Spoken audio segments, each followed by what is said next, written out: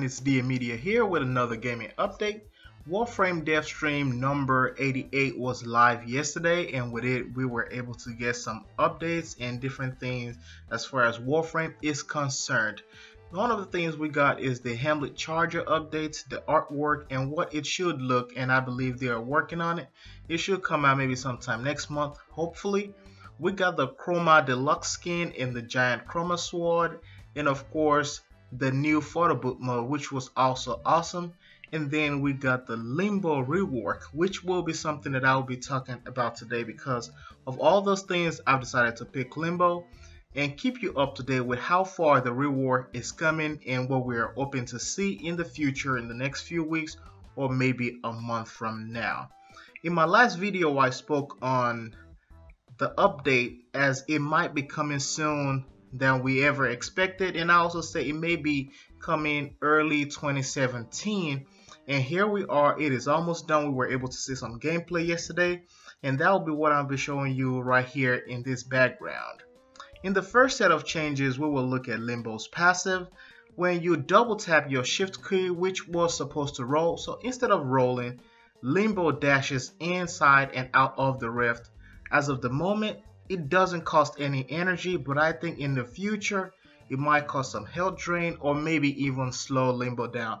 I don't know, that is up to DE to figure out, but I will really, really hope it doesn't cost anything and just remains the same because right now it looks so fluid, it looks very smooth, and I will hate for them to slow down or have a huge cost for it. In the first ability, we have Banish. The new build of Banish have moved Banish from a single target ability to an AoE ability like Banshee's Soundquake. So I'm assuming with this, it will be affected by range mods and hopefully maybe some strength mods to amplify that as well.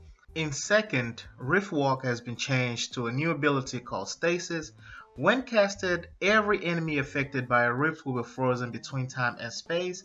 This will give the player and allies opportunity pretty much to plan attacks as every attack will be effective once stasis is deactivated. So if you are someone who loves to play raid or a lot of those sortie missions where you intend to fight bosses and stuff, I believe this will be very very effective against a lot of those bosses like Sargas Ruk as it freezes them in time and space.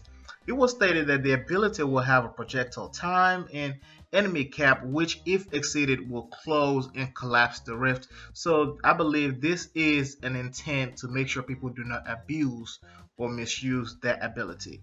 In third, we have Rift Surge, which will charge enemies in the rift with a void pulse, pretty much a void energy causing the rift to have an explosion and create similar pulses when the enemy is killed inside or outside the rift. Cataclysm, of course, still does the same thing by increasing damage in the rift with an addition of stunning every enemy upon entrance into the rift. So any rift ability that you use right now, if you cast that upon an enemy, they will be stunned and they will go to the ground before they can get back up again. So that will be very, very effective. And if an enemy is pretty much blowing you up with rockets and all those things like those bombards, you can cast it really quick and that will stun them. On paper, these changes look really, really good and even better when watching it in the video as to see how they have implemented these strategies in this display of power and this display of techniques and mechanics. They do say that this is not final build, of course, as it will change and there are several changes that might occur in the future to ensure that the game isn't broken and Limbo isn't overused like some of the other frames out there. So, and I also hope that with the Limbo rework, they might also come out with a Limbo skin, you know, as they have always done with a lot of the other Warframes whenever they rework them. That will be it for this update. Let me know in the comment section what you think, how you feel about Devstream 88 and the new changes and the upcoming changes coming into the game. Don't forget to like and subscribe for more updates and content on this channel. It is DM Media signing out. I'll see you next time.